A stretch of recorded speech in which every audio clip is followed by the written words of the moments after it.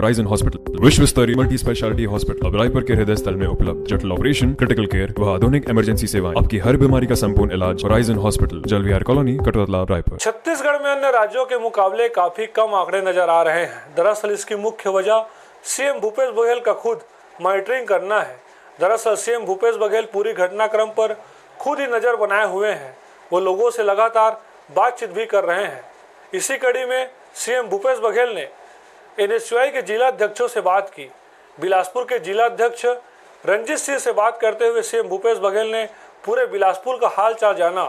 साथ ही साथ रंजीत सिंह द्वारा दिए गए सहायता राशि की सराहना भी की। छत्तीसगढ़ में कोरोना के काफ़ी कम मामले आ रहे हैं। दरअसल इसकी मुख्य वजह सीएम भूपेश बघेल का खुद पूरी घटनाक्रम पर मॉनिटरिंग करना है। आपको याद होगा कि कुछ दिन पहले ही प्रदेश के मुख्यमंत्री भूपेश बघेल रायपुर की सड़कों पर निकल गए थे। सब्ज़ी वाले के पास पहुंचकर मुख्यमंत्री ने उनसे वन टू वन चर्चा भी की। मुख्यमंत्री भूपेश बघेल ने जब बिलासपुर जिला अध्यक्ष को खुद फ़ोन लगाया और हालात को भांपा तो एन के जिला अध्यक्ष की सक्रियता और बढ़ गई। बता दें कि छत्तीसगढ़ के मुख्यमंत्री भूपेश बघेल ने अपने एन संगठन के जिला अध्यक्षों से फ़ोन पर बातचीत की। बिलासपुर के एनएसयूआई जिला अध्यक्ष रंजीत सिंह के पास भी फ़ोन आया, जिसमें उन्होंने बिलासपुर के हालातों के बारे में चर्चा की।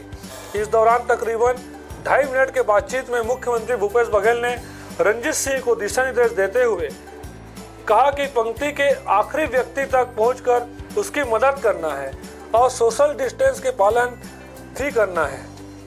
साथ ही कहा कि हमारा छत्तीसगढ़ पूरे देश के सामने एक रोल मॉडल के तौर पर उभर रहा है। वही रंजीत सिंह ने सीएम को विश्वास दिलाया कि हर संभव मदद हमारे द्वारा की जाएगी। साथ ही मुख्यमंत्री भूपेश बघेल ने रंजीत सिंह द्वारा मुख्यमंत्री राहत कोष में ग्यारह हज़ार रूपए की मदद को भी सराहा। जी बहुत ही खुशी की बात है कि हमारे मुख्यमंत्री भूपेश बघेल जी का फ़ोन अब हम जैसे कार्यकर्ताओं के पास भी आने लगा है। और उन्होंने यही कहा कि जिस तरीके से एनएसआई काम कर रही है पूरे ज़िले में, पूरे प्रदेश में, ये सराहनीय है। और उनका मेन उद्देश्य ये था कि एनएसआई को पंक्ति के आखिरी व्यक्ति तक पहुँचना है, उसकी मदद करनी है। उन्होंने मुझसे कहा कि आपके ज़िले में, आपकी एनएसआई की टीम कोई भी भूखे ना सोए। सबके पास किट्स होने चाहिए, मास्क होने चाहिए, सैनिटाइजर्स होने चाहिए। और हमने ये वादा किया कि हम ये पहुँचा रहे हैं, हम उन लोगों को भोजन करा रहे हैं और आगे भी कराते रहेंगे।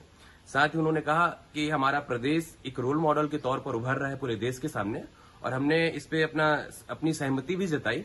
और साथ ही हमने ये भी कहा कि हम अपने बिलासपुर ज़िले में, अपनी एनएसआई की टीम की तरफ़ से, क्योंकि मैं यहाँ का कार्यकारिणी जिला अध्यक्ष हूँ। उसके नाते मैं आपको आश्वासन देना चाहता हूँ कि यहाँ एनएसआई पूरे ताकत से काम कर रही है अपने बिलासपुर ज़िले में और पूरे छत्तीसगढ़ में। जिसके लिए मुख्यमंत्री जी ने धन्यवाद कहा और मैं मुख्यमंत्री जी का धन्यवाद करना चाहता हूँ कि अब वो एनएसआई के छोटे छोटे कार्यकर्ता, मुझ जैसे कार्यकारिणी जिला अध्यक्ष को भी फ़ोन करके आश्वासन दे रहे हैं। धन्यवाद।